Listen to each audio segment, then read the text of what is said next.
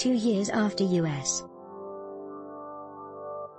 President Donald Trump quit the multinational nuclear deal with Iran, his administration is risking a crisis at the United Nations by threatening to reimpose international sanctions that were eased under that accord. It's a threat that could produce an outcome that once was unthinkable, pushing allies such as Germany and France to side with Russia and China in the UN. Security Council, leaving the US isolated. The conflict may begin with a vote in the Council this week on a U.S. resolution to make permanent an international ban on arms deals with Iran that's due to expire in October, the UN fails to act, Secretary of State Michael Pompeo said in a tweet on Sunday, it will make a mockery of its mission to maintain international peace and security. Russia and China have threatened to exercise their veto power to kill the resolution. Diplomats say they don't expect the U.S. will even muster the required nine votes in the 15-member council that would force them to do so. One way or the other, we won't let the arms embargo expire, U.S. Ambassador Kelly Craft said on a call with reporters last week. Russia and China have a decision to make. They can be co-sponsors of the no one sponsor of terrorism, or they can do the right thing. Related stories People familiar with the matter, who asked not to be identified discussing private deliberations, said Security Council members still hope to forestall a crisis through a compromise. On Tuesday afternoon, the U.S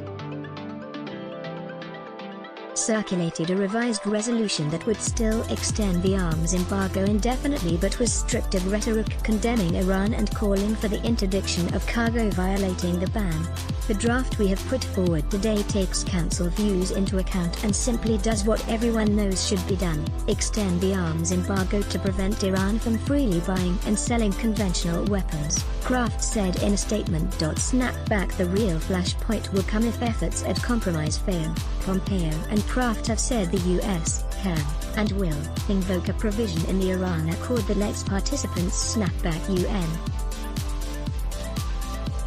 sanctions that were eased in return for constraints on Iran's nuclear program. The result will be a significant expansion of the crippling sanctions on Iran that the US already has imposed under the administration's maximum pressure campaign.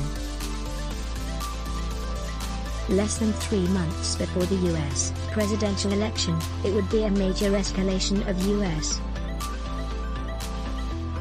pressure on Iran, much like the increasingly sharp measures the Trump administration has been taking against China. If the Trump administration takes this action and everyone else is on the other side of the table, then the administration has once again isolated itself and it will fail, said Wendy Sherman, who was lead negotiator on the Iran Accord as Undersecretary of State for Political Affairs under President Barack Obama and Secretary of State John Kerry. Iranian leader Ayatollah Ali Khamenei delivers a televised speech last month in Tehran, during which he said that negotiating with Washington over his country's nuclear program would only help get U.S.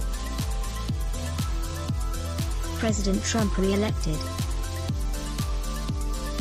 Office of the Iranian Supreme Leader slash via the New York Times Iranian Foreign Minister Mohammad Javad Zarif said in a posting on Medium on Tuesday that this deeply malicious U.S. behavior is evident throughout the UN, where it seeks to use the UN itself to effectively destroy the world body.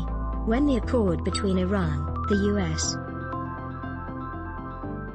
and five other nations was announced in Geneva in 2013, Kerry emphasized the snapback as a safety net for the US if Iran failed to keep its end of the agreement. It was offered as an assurance to members of the US. Congress skeptical that Iran would keep its end of the deal, but Sherman says the US gave up its right to trigger the mechanism when Trump quit what he's called the worst deal ever. Trump has said the Accord's provisions intended to prevent Iran from developing a nuclear weapon expire too soon and the agreement fails to stop Iran's development of ballistic missiles or its support for groups like Hezbollah.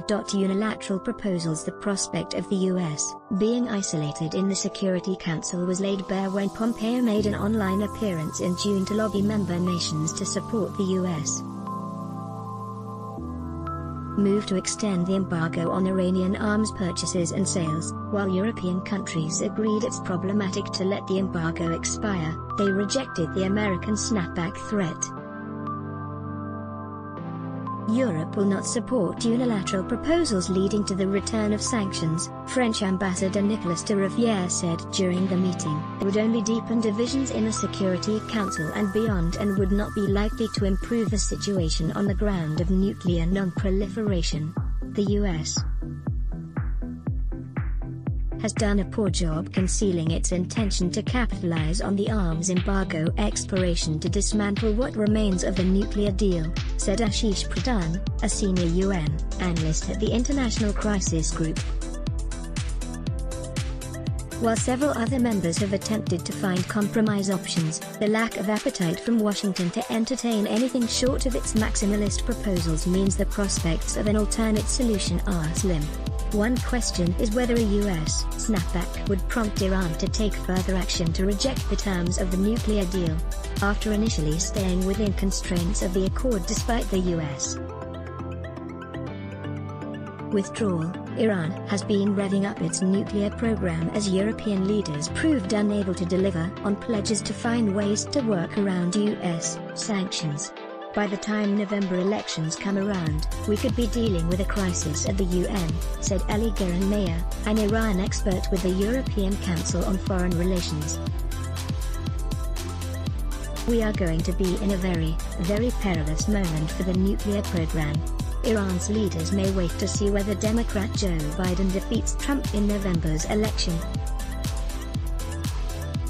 Biden has signaled he'd open talks with Iran's leaders, Iran would love to see me not be president, Trump said at a news conference on Friday, but he predicted if and when we win, we will make deals with Iran very quickly. Ayatollah Ali Khamenei, Iran's supreme leader, last year ruled out talks, saying negotiations are like a poison as long as the US remains the same way it is. Let's block ads. Why? Show your love for him. Click the link in description. Thanks for watching.